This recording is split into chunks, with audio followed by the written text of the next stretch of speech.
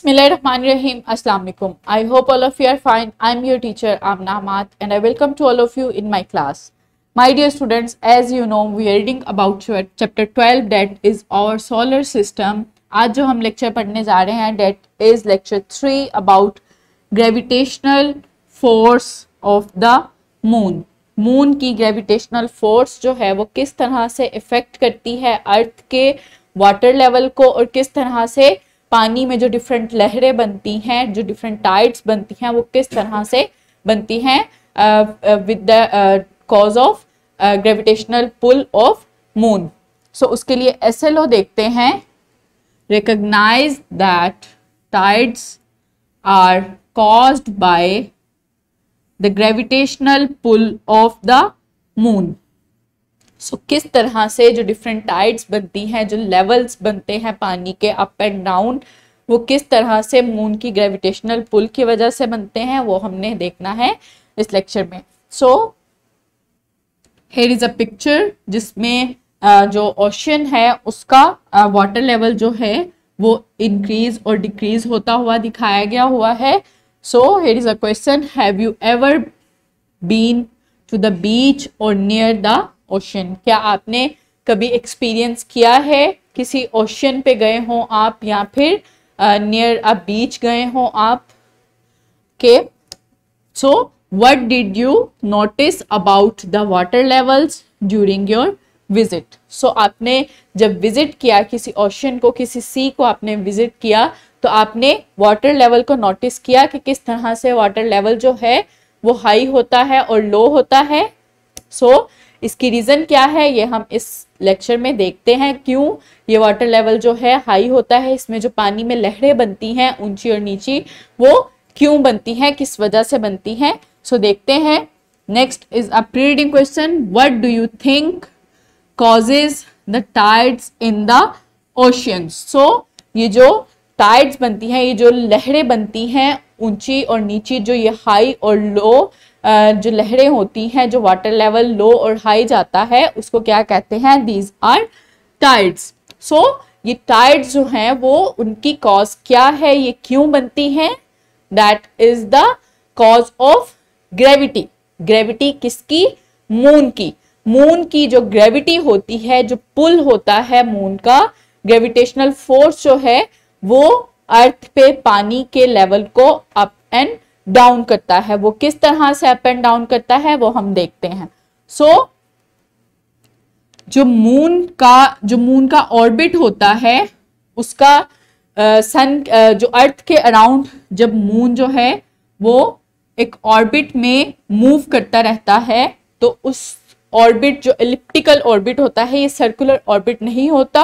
ये थोड़ा बेजवी शक्ल का ऑर्बिट होता है जिसको एलिप्टिकल ऑर्बिट कहते हैं। सो इस ऑर्बिट में जब मून जो है सन के अराउंड मूव करता रहता है तो उसका डिस्टेंस जो है, वो वेरी करता है। कभी वो किसी लोकेशन पे आता है, कभी किसी लोकेशन पे आता है। इसीलिए हमें कभी फुल मून नज़र आता है कभी हाफ़ मून नज़र आता है कभी क्वार्टर मून नज़र आता है। सो so, उसकी ये जो शक्लें हैं वो उसके डिस्टेंस की वजह से होती हैं। जब वो अपने एलिप्टिकल जो उसका ऑर्बिट है उसमें मूव करता रहता है तो अर्थ से उसका डिस्टेंस जो है वेरी करता रहता है। सो so, उसके उस डिस्टेंस के वेरी करने की वजह से उसकी डिफरेंट लोकेशंस की वजह से हमें डिफरेंट फेजेस नज़र आती हैं। मून की कभी फुल मून नज़र आता है कभी हाफ़ मून नज़र आता है और कभी क्वार्टर मून नज़र आता है। सो so, जो मून की ये जो इलिप्टिकल ऑर्बिट है और उसकी जो डिस्टेंस है जो लोकेशंस हैं उसकी उस पर बेस करती हैं डिफरेंट टाइड्स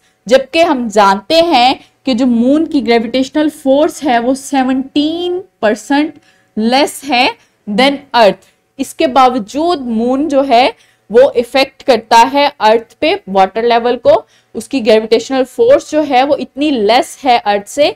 उसके बावजूद जो है मून की ग्रेविटेशनल फोर्स अर्थ पे पानी के लेवल को इफ़ेक्ट करता है। सो वो किस तरह से होता है? जब मून जो होता है न्यू मून फ़ेज़ में होता है, जब नया नया चाँद निकलता है फुल सो उस फ़ेज़ में जब मून होता है तो क्या होता है? मून की जो लोकेशन होती है, वो सन और अर्थ के दरमियान होती है। यानी कि सन और अर्थ क्या होते हैं? मून के सेम उनकी जो लोकेशन होती है, वो सेम होती है। एक ही जगह पे होते हैं। मून जो होता है, वो अर्थ और सन के दरमियान होता है।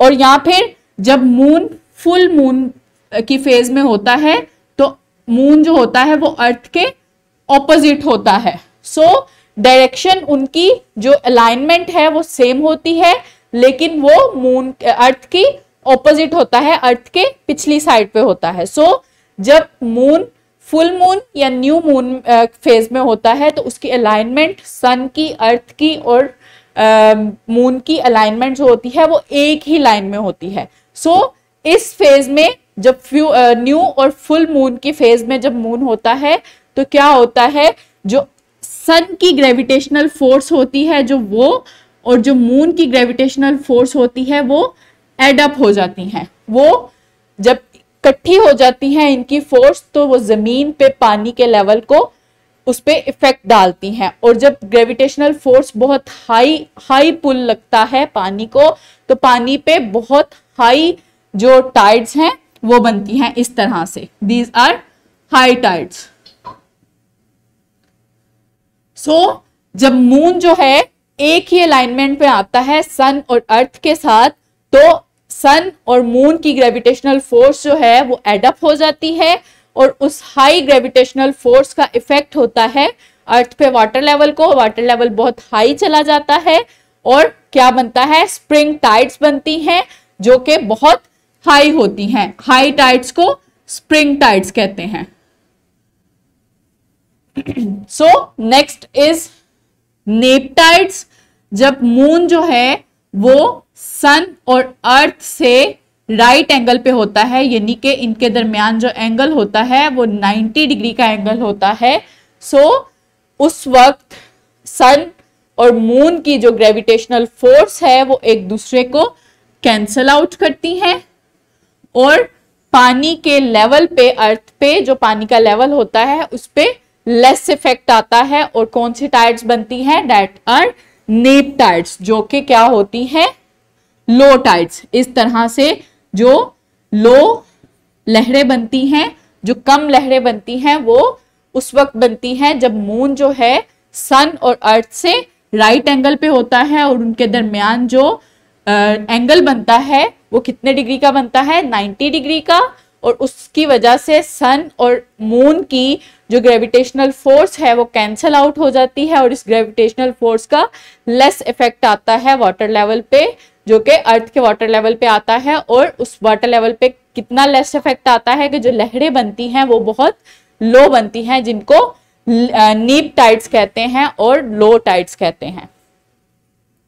सो रेपअप करते हैं लेक्चर को। Tides are the periodic rise and fall of sea levels और the vertical motion of water bodies primarily oceans and large lakes cause by the gravitational forces of the moon and the sun acting upon the earth so tides क्या हैं ये rise और fall है water level में जो कि ocean sea और different lakes के वाटर लेवल में आता है अर्थ में वो किसकी वजह से आता है?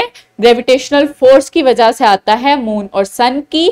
मून का डिफरेंट डिस्टेंसेस पे जब आता है अर्थ की जब एक ही अलाइनमेंट में आता है अर्थ की अर्थ के साथ और सन के साथ तो क्या होता है? मून की सन की सन के साथ ग्रेविटेशनल फ़ील्ड जो है फोर्स जो है वो ऐड हो जाती है और इस हाई ग्रेविटेशनल फोर्स की वजह से अर्थ पे हाई टाइड्स बनती हैं। सो so, जब इसकी अलाइनमेंट चेंज हो जाती है और वो सन और अर्थ के साथ राइट एंगल पे आ जाता है तो ग्रेविटेशनल फोर्स जो है कैंसल आउट हो जाती है और क्या होता है? लो टाइड्स बनती हैं। सो राइट एंगल पे जब मून आता है तब मून जो है क्वार्टर मून की फ़ेज़ में शो होता है अर्थ पे। सो so, इस तरह से जो अर्थ पे टाइड्स बनती हैं वो लो बनती हैं। सो नेक्स्ट इज़ असेसमेंट जो आज के एस पे जो आज एसएलओ हमने कवर किया है उस पर ये असेसमेंट है। इसको आप सोल्व करें और अपने टीचर्स को दिखाएँ। ये आपको डिस्क्रिप्शन बॉक्स में भी मिल जाएगी और टीचर से प्रिंटेड फॉर्म में भी मिल जाएगी। So next is homework does the tidal phenomena benefit us search and demonstrate in the next class आपने सर्च करना है कि ये जो टाइडल फिनोमिनन है, ये जो टाइड्स बनती हैं डिफरेंट लहरें बनती हैं पानी की सतह पे जो पानी अप एंड डाउन जाता है, उसका कोस्टल एरियाज़ में या फिर एक्वेटिक लाइफ को कोई उसका बेनिफिट है या नहीं, इसको आप सर्च करें और अपनी नोटबुक पे नोट करें और अपनी क्लास में नेक्स्ट क्लास में प्रेजेंट करें। So I hope now are you able to explain about tides and gravitational pull of the moon on earth thank you so much अल्लाह हाफिज़